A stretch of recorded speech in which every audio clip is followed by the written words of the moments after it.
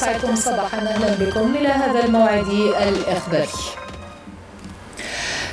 مساء أمس بمطار بوفاريك العسكري استلام دفعة جديدة من اللقاح المضاد لكوفيد 19 سينوفارم منحتها جمهورية الصين الشعبية للجزائر كهبة على متن طائرة عسكرية تابعة للقوات الجوية. وأشرف على العملية كل من وزيري الاتصال الناطق الرسمي للحكومة عمار بلحيمر ووزير الصحة والسكان وإصلاح المستشفيات عبد الرحمن بن بوزيد وكاتب الدولة لدى وزير الصحة والسكان وإصلاح المستشفيات مكلف بإصلاح المستشفيات إسماعيل مصباح وكذا سفير جمهورية الصين الشعبية لدى الجزائر ليليان هي. التغطية لحمزة بالقسامة.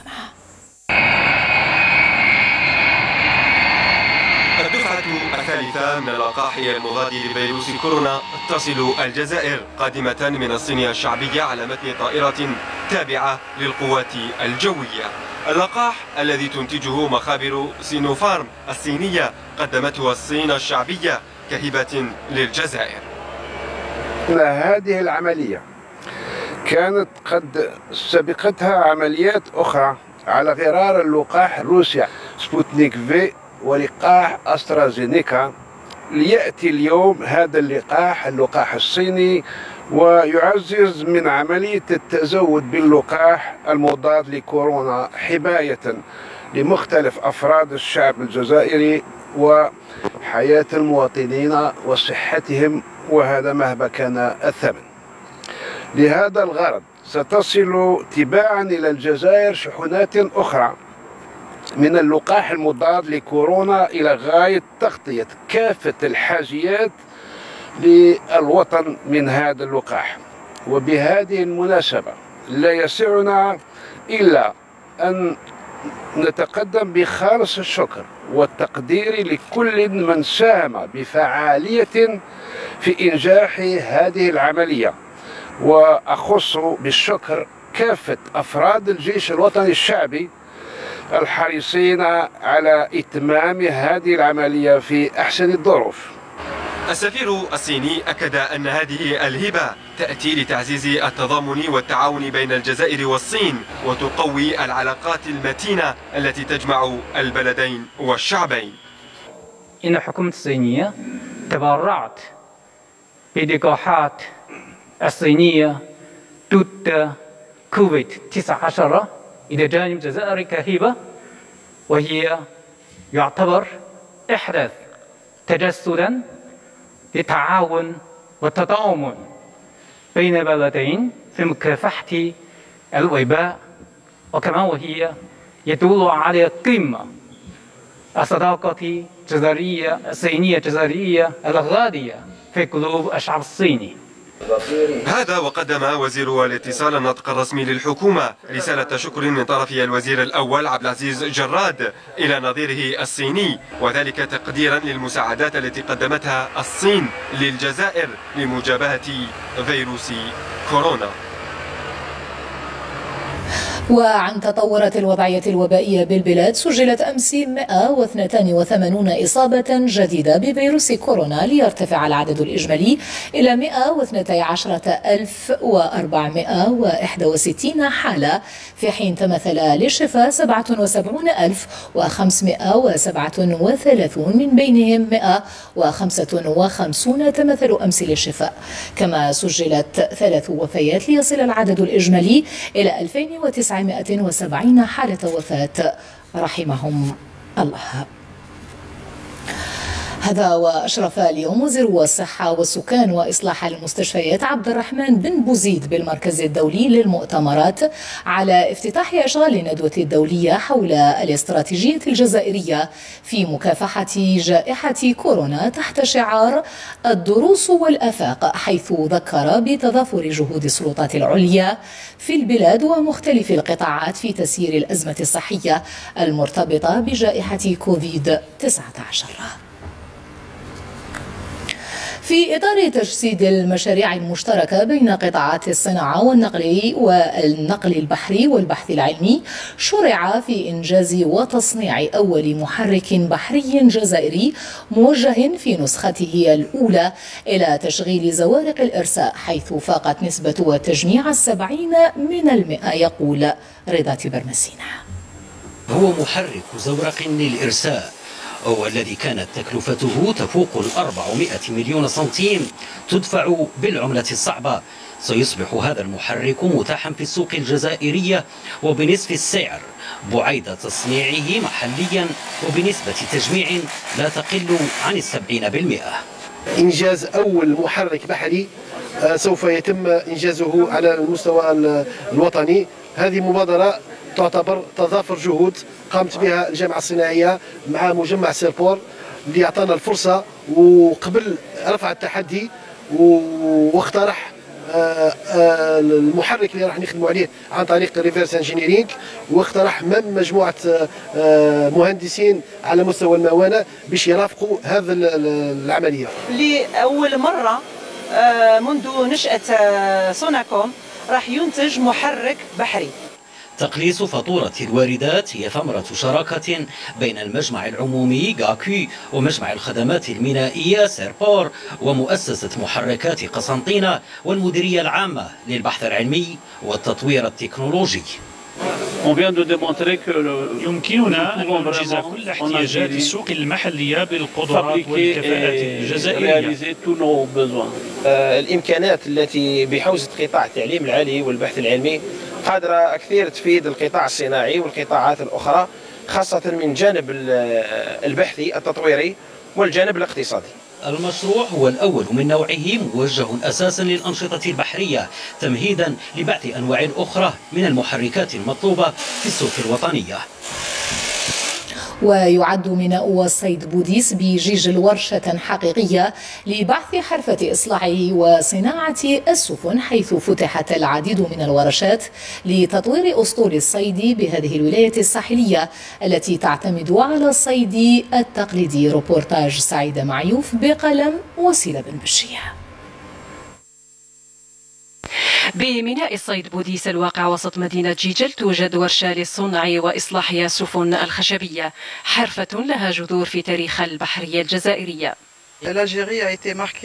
الجزائر كانت معروفة منذ العهد العثماني بصناعة السفن ونشير إلى مصدر المادة الأولية لهذه الصناعة كانت غابة قروج ببجاية. الخشب كان ينقل حتى جيجل ومعها انتقلت الحرفة.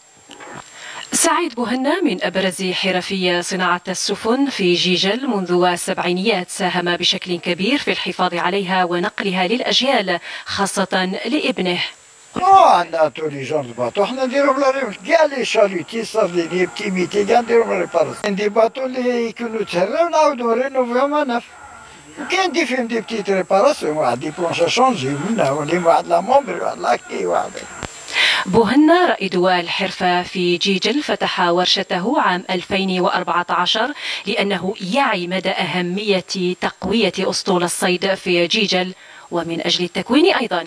وليت وحدي أنا درت شونتي وحدي اللي نخدم لو بوا ومام خدمت لو خدمت لو ندير عندي دو مول لي تروا مول عندي تاع 480 عندي لو 12 متر لو 14 متر سارديني ومن أجل تسهيل مهمة حرفي صناعة السفن وإصلاحها استفاد ميناء بوديس من رافعة قوارب بقدرة 110 طن وهي آلة تستجيب لاحتياجات حرفي هذا الميناء وكل موانئ الوسط وشرق البلاد.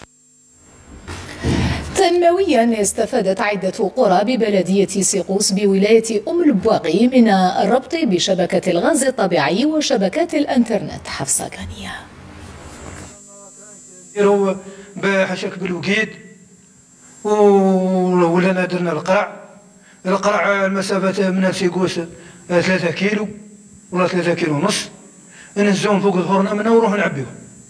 والمهم اليوم الحمد لله مشاريع تنموية جاءت لتنهي قصة معاناة عاشها سكان ثلاث الحمر بلدية سيغوس لسنوات عديدة بعد استفادتها من شبكة الماء والغاز والكهرباء. عانينا بزاف كنا نهزو القرعه 3 كيلو. على رجلينا في الثلج والنود صب آه، المهم الحمد لله دركا الحمد لله كي تشوفي بعينك. لله قضية تسمى كيما نقول حنا غاز الحمد لله تريسيتي ثاني الحمد لله كتغير الدول كاينين نقائص. اللي هما كيما نقول حنا الطريق. لاسينيسمو لاسينيسمو ثاني ما عندناش. آه، الاولاد تاع القراية. يعني ما عندهمش فاش يروحوا الصباح. قاسينا قاسينا. واليومنا هذا يسمى يعني ما عندناش الدولة بهذا الغاز. هذا راهي souffrance كبيره راكم تشوفوا في البرد زيماه كما تعتبر قرية ثلاث الحمر أول منطقة ظل في ولاية أم البواقي يتم تزويدها بشبكة الأنترنت وخدمات الجيل الرابع. عندنا connexion قوية خير من كنا قبلنا نهبطوا لسيغوس باش نديروا المشاريع نحن الان ان شاء الله كملنا من عمليه 154 عمليه انتهت في الميدان و 79 تقريبا عمليه راهي قيد قيد الانتهاء و 200 208 عمليه في طور في في يعني في en cours de de maturation يعني هي في طريقة النضج. التكفل بالمناطق النائية وتوفير ضروريات الحياة الكريمة هو ما تسعى إليه السلطات المحلية لإعادة زرع البسمة على سكانها خاصة على وجوه هذه البراءة.